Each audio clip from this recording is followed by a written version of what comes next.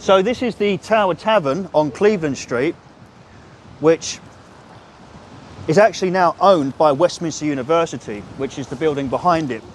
And it looks suspiciously like a council estate pub. You see the classic flat roof style with the tiles, but it's actually not, though it did serve the working class. People that worked in BT, mailmen, people like that.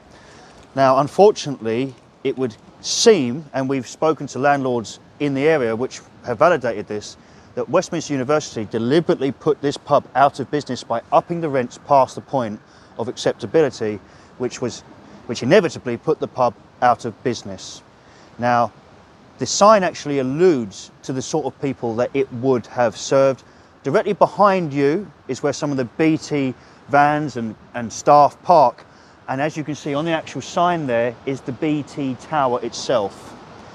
Now, what this does is it really reminds us of the working class punters which would have kept this pub alive. Because for some people, a pub like this looks quite standoffish, unappealing. But to those of us that feel comfortable in, in areas like this, that's a very special pub.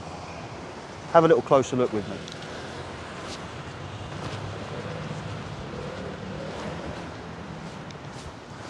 And one of the key reasons we had to do this is because as you can see, this pub hasn't got long. And one of the rumours is it's going to become a sort of gentrified student union bar and you can pop them up out of nowhere. You can pop them up in the already existing university.